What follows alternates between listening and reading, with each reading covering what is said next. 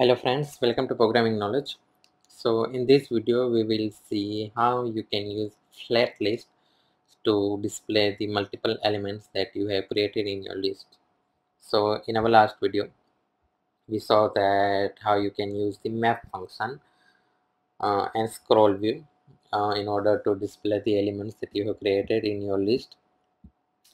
This from our last video you can view the output in iOS simulator or Android simulator. I have opened the iOS simulator here. So there is a second method. It's called flat list. So let me just show you how you can use the flat list and then I'm going to tell the difference between both of them. First we need to import flat list and let me just comment this out.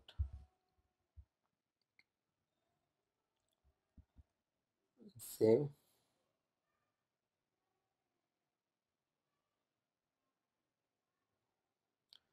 Okay so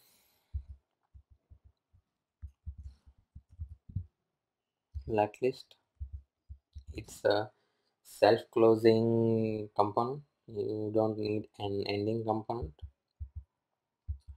so first of all what data we need to display? What data we need to display? And that is the fruit list. The second is a render item.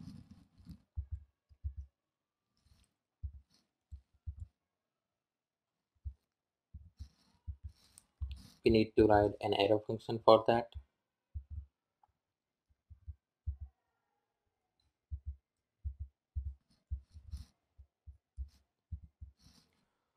okay so here we need to write exactly the same thing that we did in our previous video with the list element.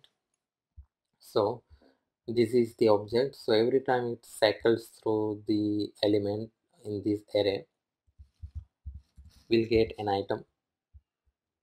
And we will use this item same as this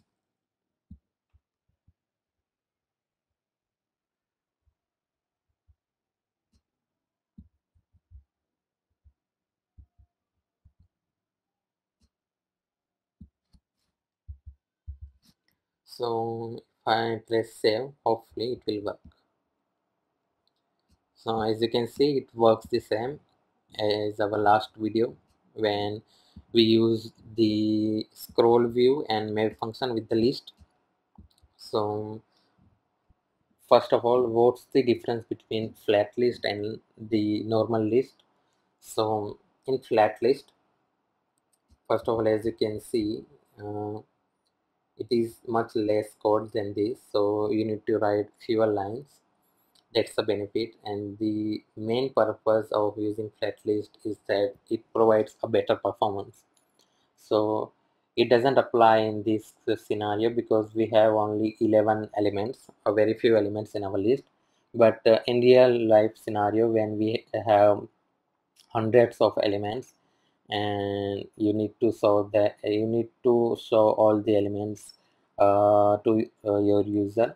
Then in flat list uh, what it do what it does that it only uh, load the elements uh, which is currently visible on the which, which is currently visible on the screen when it first render. It does not load all the hundreds of elements.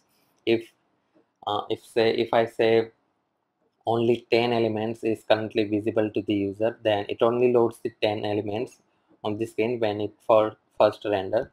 Then when user scroll down it ren it re-renders the uh, remaining elements to the user. So which is uh, exactly the opposite which scroll view and the list does. Because if there are let's say hundreds elements then scroll view and list will render all the elements at, at the first when the screen first load. So it provide a better performance. And the second thing is that we need we don't need to explicitly provide the key element. It automatically search for the key element in our array. So we need to have a key element. And it need to be the name of the key. So but in case if we have let's say id instead of key and let me just say the key. So for that we need to write key extractor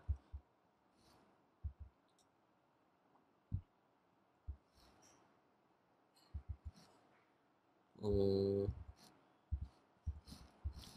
in item. Item.id is the key.